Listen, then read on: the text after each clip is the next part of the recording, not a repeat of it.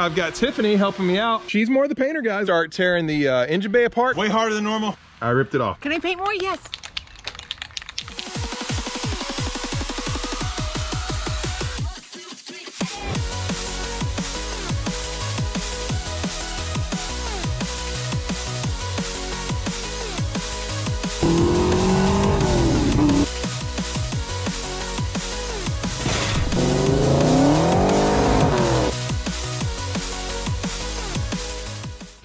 Hello and welcome back to Gearhead 704. I'm Matt and today we are continuing work on the SSP project, which I told you guys in the last video is actually going to be an autocross car now. That's what I'm going to use it for. I'm pretty excited about that. But uh, today, first thing I got to do is we're working on the K member, which I pulled in the last video, uh, and I have it right here. Now this is a stock K member. Uh, I have other plans for the Team Z Motorsports tubular K member in there, but yeah, so it still has some rust, guys. I pressure washed it, but you can see there's still some rusty spots, definitely, like right there, a lot on the other side. Uh, I mean, you can tell, it's just, you know, it's an old part, got some rust. So I gotta clean it up. So I'm getting to use the sand blaster today, which I've never used before. Uh, Matt's actually instructing me how to use that. He's a co-owner here at Fox Mustang Restoration, been on the channel a lot before. But yeah, so I get to use a sandblaster outside the cabinet. I'm gonna show you guys kind of what that looks like and let me give you one more look at the K member here and we'll see how well it cleans up. Also planning to paint it today, although it is raining, so I don't know, we'll see how that works out. But yeah, this is gonna be very interesting for me. Gonna take you along for the journey.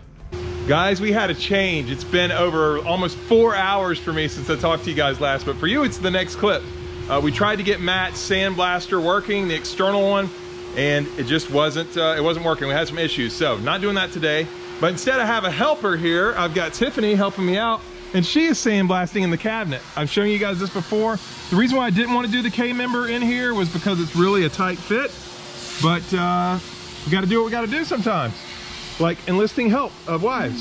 so thanks. This was her first time sandblasting, and I think she's doing pretty good. It is cleaning up very well. So we just got to do it, move it around and everything, but it is going to be on the bottom of the car, so you don't have to get okay. too far, babe. Okay. You're doing fun, great. I'm sorry. What do you think? Are you having fun? Yes. All right. She's focused, guys. She's in the moment. So we're going to get this cleaned up, and then we're going to paint it, and I say we, but I'm not really the good painter. She painted the intake, the GT40 intake, tubular intake on Heel Fox. Tiffany actually painted it. So I'm probably to let her paint the K member. So let us finish up this and we'll cut to that. All right guys, so while Tiffany is working on sandblasting that for me, it's nice to have help by the way, I'm gonna start working on the SSP. I wanna go ahead and start ripping stuff out of the engine bay because I do wanna paint the engine bay while the motor's out. I mean, why not? Now you can see the SSP is already right here behind me. The reason is we already pushed it in. So let me cut to that footage real quick.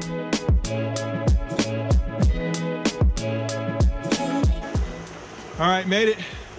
Problem is, way harder than normal because I had a flat tire in the front. So Jeremy, if you're watching, Pony 1992, maybe I need that thing back. A lot easier to push this car. yeah, so I was really tired after that. That was uh, that was not fun. Um, and I was teasing Jeremy, my friend there, Pony 1992, a little bit. Didn't realize that with the tire that I put on there being flat, it was a lot harder to push in. That's okay. We made it through and uh, it's up here now. So, but yeah, so while she is uh, doing the sanding, I'm gonna go ahead and start tearing the uh, engine bay apart. So let me go ahead, jump on that, and uh, we'll see how far we can get today.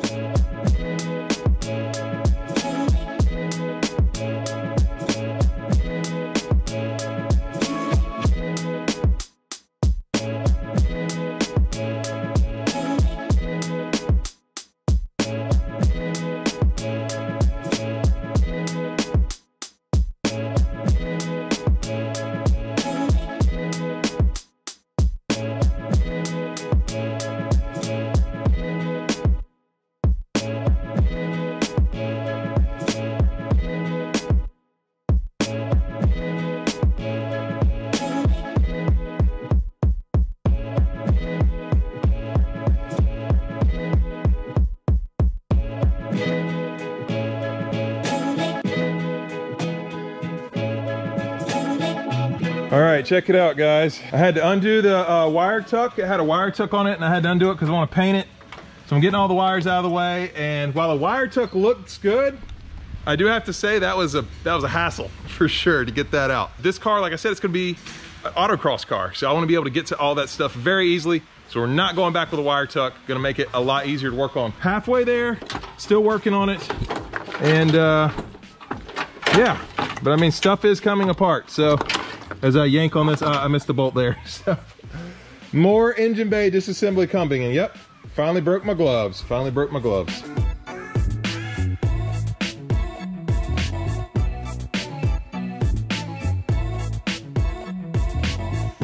Headlight harness out.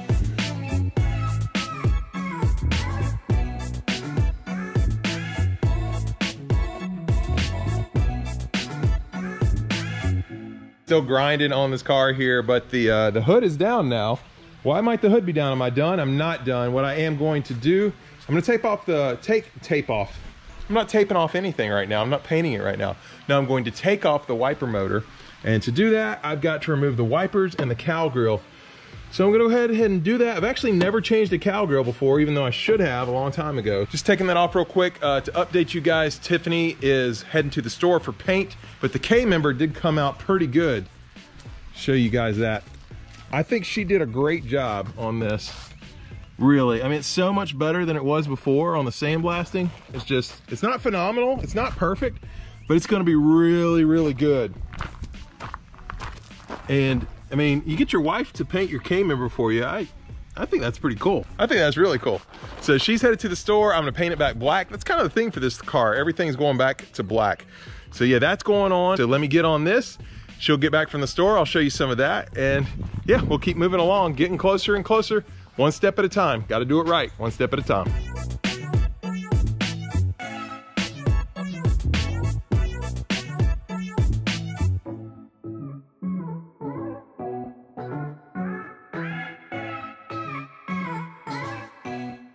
All right, Tiffany's back from the paint store. Got us some, uh, what, gloss black? Yes. yeah, because we didn't have enough. That's what I've been painting everything with. But I was, I'd already told them, I thought you did a pretty good job, and it was nice having your help today, by the way. Thanks. Yeah, I need to get more help. But yeah, so this is what we're putting on. Let me show you guys. There, it looks like it. Yeah, gloss black. And she's more the painter, guys. Like I said, you painted the intake. I think she did a good job. I think you did a good job on that. So now you get to paint my K member. Don't fall down now. Right? I'm still working on the SSP, still trying to tear stuff out of the engine bay, but she's back. I'm gonna let her do this, and yeah, we get multiple things done today. This is cool. hey, what's his best? All right, I'm gonna let her start on that. We'll see how it turns out, and uh, if you mess up, only about 3,500 people on YouTube will know. Awesome.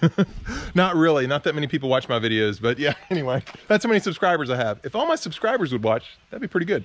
But anyway, let's go ahead.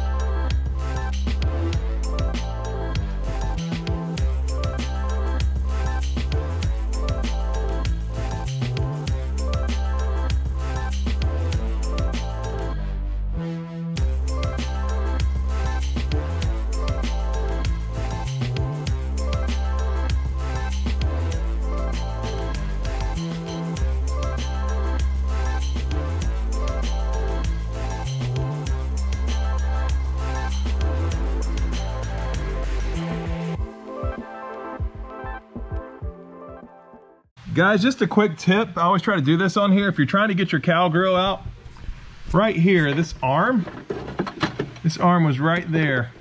And the way to get it loose, there's this little clip, little clip on the end.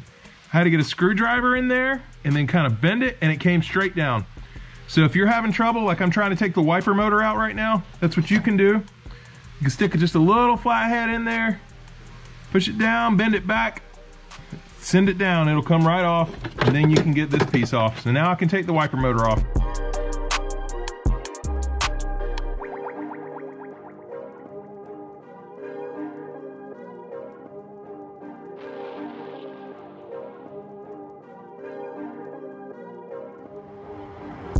All right, guys, got the wiper motor out, and I was just looking at my buck tags over here because the SSP has two buck tags. You kind of can, you can see one down in there. This is one. Well, it did have another one, and I ripped it off. I was trying to look at it and ripped it off. So unfortunately, that stinks, you know, that I did that, but I still got it, so I'll figure out how to get it back on the car. But let me show you the cool thing about this. Right here it says 240237, which is the uh, DSO number. And then if you look at the, uh, probably can't see it on here, but this tag down in here says the same thing. And it tells it what paint color. Right there it says 240237, right where my finger is. We come around here and look at the door. Right there is my DSO code. 240237. So all those numbers match. That's pretty cool. All those parts, you know, connect together and then I can actually see on the buck tag that's still on the car, it shows what paint it's gonna have on it. I was able to read that. It said, you know, cream on the top and uh, on lower below that, it said the rest is black. And Matt was telling me those are the instructions that they got when they were going to paint it uh, for the SSP. So that's pretty cool. It has all the paint information on there. Unfortunately, like I said, I broke this, but we'll figure out some place for it. And I just want to show you guys how all those numbers kind of match, which is really neat. Come check out here, and Tiffany's still working on the paint, but man, that looks good. Did you flip it over already, I too? did. Yep. Oh, you already flipped it over? So she's working on her second coat? Yeah, of course. All right. good job, babe. That thing looks really good. What do you guys think? I think Tiffany's got the painting skills. All right. So we're gonna finish this up. I think I'm almost done. Give you one more good look at this K member for sure though.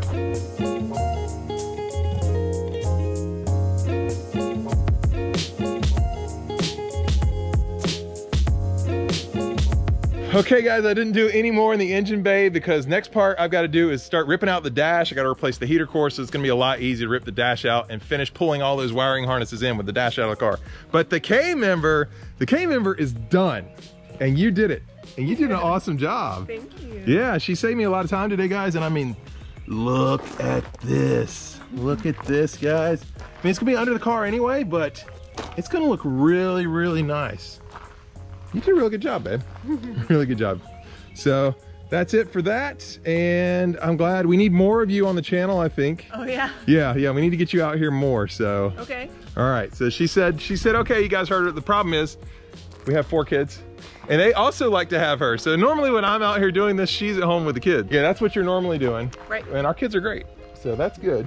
Right. But so you kind of, they kind of need you for that. So, Yes. but I appreciate today we had some help. So that was good. And yeah, thanks a lot. Appreciate was fun. It was I fun? fun. Yeah. I think she wants to paint some more. You want to do some more painting? Can I paint more? Yes. All right. All right. We'll work that out. Maybe I'll stay home with the kids and let her take over the channel. Oh man. You want to? I don't know, but anyway, that's going to be it for today. I know it doesn't look like a lot of progress, but this is some of that prep step, some of that work you have to do so that when it comes time to install stuff, it just slaps together and it's really easy. I've experienced that with the motor already.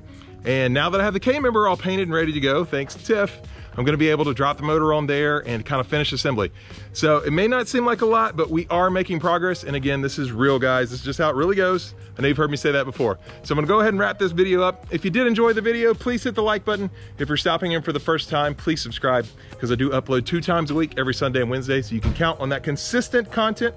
And we'll see you next time on Gearhead 704.